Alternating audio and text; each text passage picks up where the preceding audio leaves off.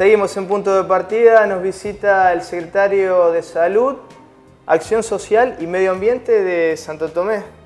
Bien digo, ¿no? Es, así, es, un eh, cargo bastante largo. Es largo y te faltó deporte. Porque y deportes. Exacto, también depende de la Secretaría, así que... Muchas responsabilidades. Mucha responsabilidad, exacto, con, muchos desafíos, pero, pero con muchas satisfacciones, ¿no? Hoy hablábamos fuera de, cámara la importancia de, de obras eh, que se viene para Santo Tomé, que son ya una realidad.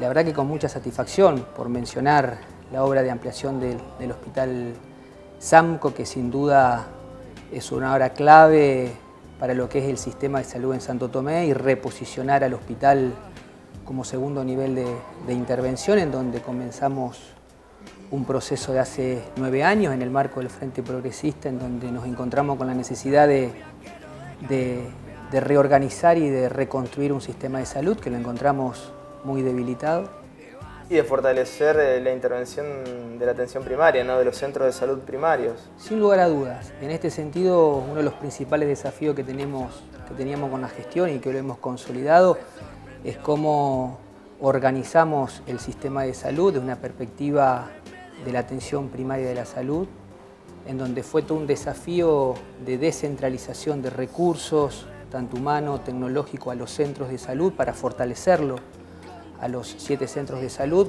como efector de, primer nivel y con capacidad de respuesta cerca de la gente. Y sin lugar a duda eh, nos ha permitido también fortalecernos al hospital para dar respuesta a esas demandas o esos problemas de salud que no se pueden resolver en los, en los centros de salud, en los centros de primer nivel, por cuestiones de complejidad. Y sin lugar a duda, estas obras de, de ampliación que incluyen dos consultorios nuevos, la ampliación del laboratorio, una puesta en valor todo lo que es el espacio verde. La verdad que sin lugar a dudas estamos muy, muy satisfechos con, con los logros, con una gran participación de los conductores, digamos, de las autoridades de los trabajadores. políticas, tanto de, la intendente Daniela Cuesta como, como del gobernador, en personas ellos están detrás del proyecto, como lógicamente autoridades del hospital y los trabajadores, porque también son, son protagonistas de estos logros pero también del, funcionamiento del sistema de salud.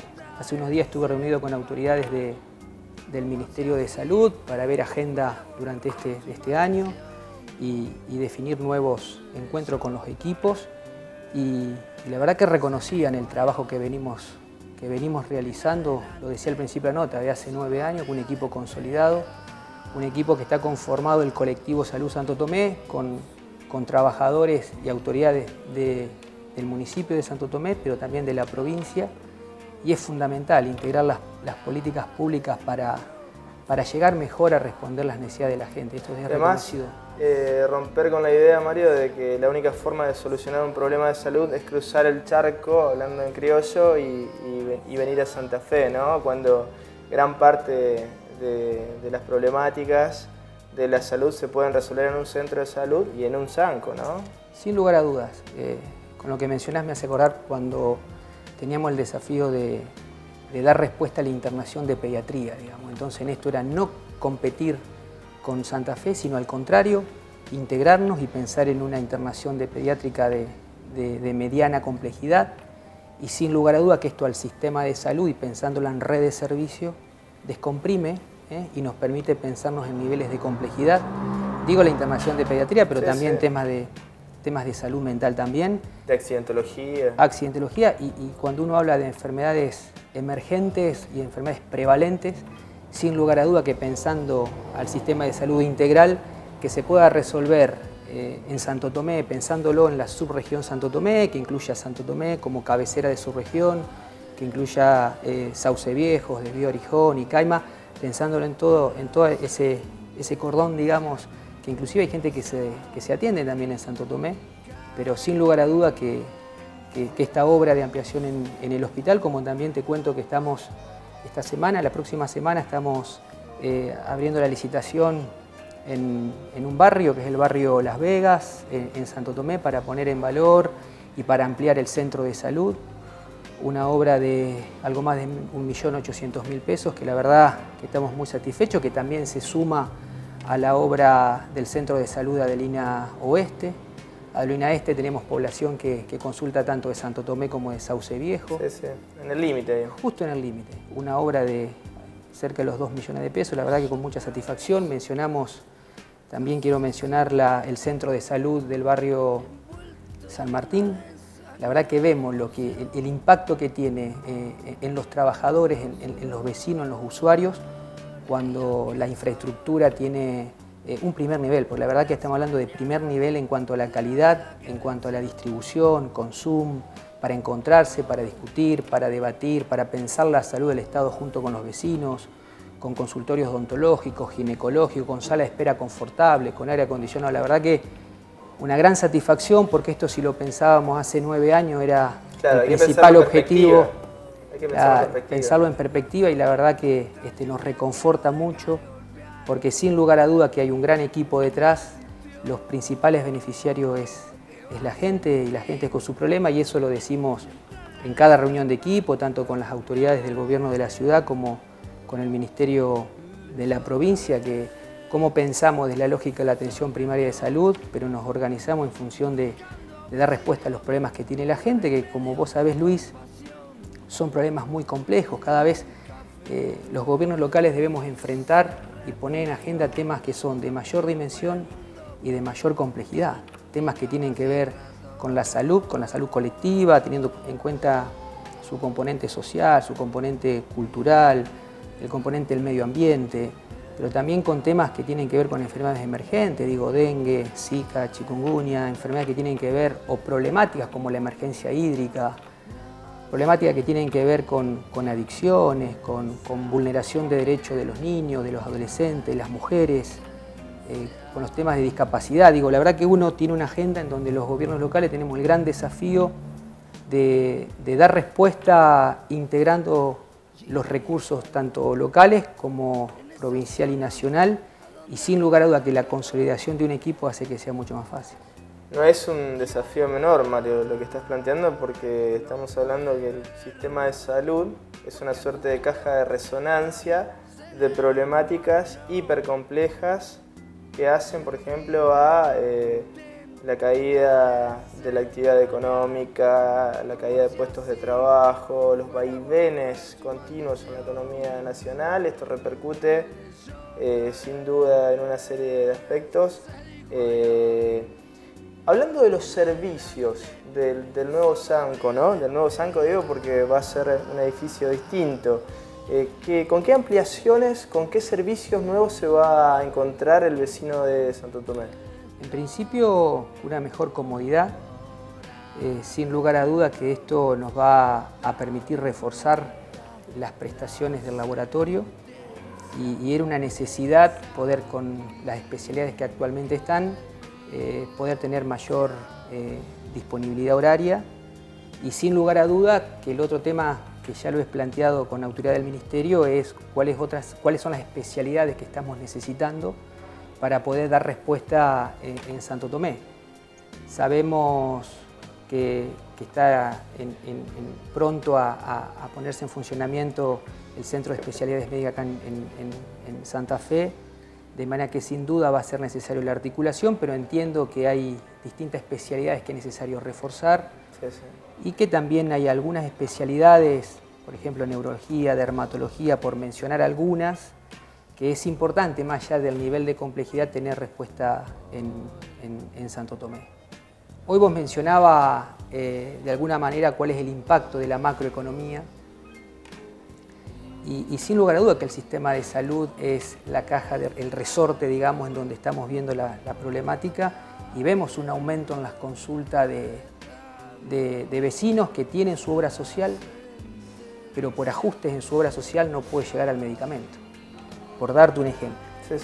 Y sin lugar a dudas que nosotros en ningún momento distinguimos, como si anteriormente se, se ponía en, distintas filas quien podía, porque era Silvis, quien podía, quien podía pagar determinada consulta se atendía y quien no tenía que pasar por, por un asistente social. La verdad que lo digo, son cuestiones que impensadas, ¿no? Por eso uno de los logros... años? Y eso hace 10 años, digo, mm, antes que, antes que lleguemos con el Frente Progresista Cívico y Social, nosotros veíamos que las consultas se cobraban y no fueron los primeros que nos planteamos en, en eliminarlo. Por eso te decía, siempre pensamos desde la integralidad y de la perspectiva del derecho al sistema de salud y hoy estamos afrontando una mayor demanda de pacientes eh, y de vecinos o de usuarios que se acercan al sistema público porque tienen restricciones a, la medicación y, sin lugar a duda que también nos tenemos que preparar para, esa demanda, para esa necesidad, eh, porque vemos que las consecuencias, los ajustes este, en materia de caída del trabajo se impacta directamente en salud, como también en, acción social del municipio y demás. Eh, la verdad que es, es, una situación que la vemos día a día. Por ejemplo, en el tema de vivienda, ¿no? Vivienda es un gran desafío, digamos. Los otros días con una gran satisfacción este, firmaron el gobernador, la intendente y autoridades nacionales lo que es el Plan 37, que abarca todo lo que es el mejoramiento barrial de tres barrios de, Santo Tomé, que incluye el barrio Libertad, Iriondo y Santo Tomás de Aquino, una puesta en valor del barrio que la verdad que con mucha satisfacción, pero si vos me preguntás qué, hicimos, qué se hizo del gobierno nacional en estos últimos 10 años, 12 años, no, hemos, no hubo una política eh, en relación a viviendas en Santo Tomé, sin lugar a duda que es una deuda, y nosotros tenemos demanda permanente en relación a, viviendas, no solamente viviendas para diferentes, para situaciones normales, por llamarlo de alguna manera, sino también hay situaciones de salud que requieren ciertas condiciones habitacionales. Sí, y situaciones de emergencia, gente que eh, no tiene más recursos porque perdió el trabajo y pierde la posibilidad de, alquilar, de, pagar un alquiler, ¿no? Sí, sí, sí, esto es así, es real y, también como gobierno local tenemos nuestras limitaciones, pero sí articulamos con, diferentes áreas del gobierno de la provincia para, para poder dar respuesta. Sí, hace muy poco eh, estamos por entregar lo que son el plan de 49 viviendas, en donde la verdad que hay 49 vecinos que van a acceder a su vivienda y eso también lo decimos con mucha, con mucha satisfacción, pero el tema de hábitat y vivienda es un gran desafío que tiene el Estado.